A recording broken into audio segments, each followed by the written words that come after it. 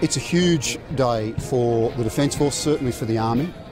As part of a plan called Beersheba, which is going to restructure the Army in a way that it hasn't been restructured in the last 80 years, we are going to make our three combat brigades, this one here in Townsville, the one in Darwin, and the one in Brisbane, look more alike.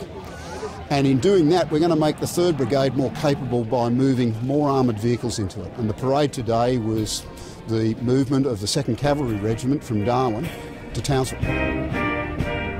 It's also a big step for the regiment, who's uh, started life in Sydney, moved to Darwin, and has now come across the east coast of Townsville. So they've done pretty much the whole country. It's a big move for the regiment and all its families. This is an army town, uh, so bringing in more soldiers, more families, more business, uh, and some interesting things like a new mascot, wedge-tail eagle. Seems that Townsville's been very welcoming and uh, I tell you, that's much appreciated, and it makes the move a lot easier when you, you're coming to a place where people want to have you.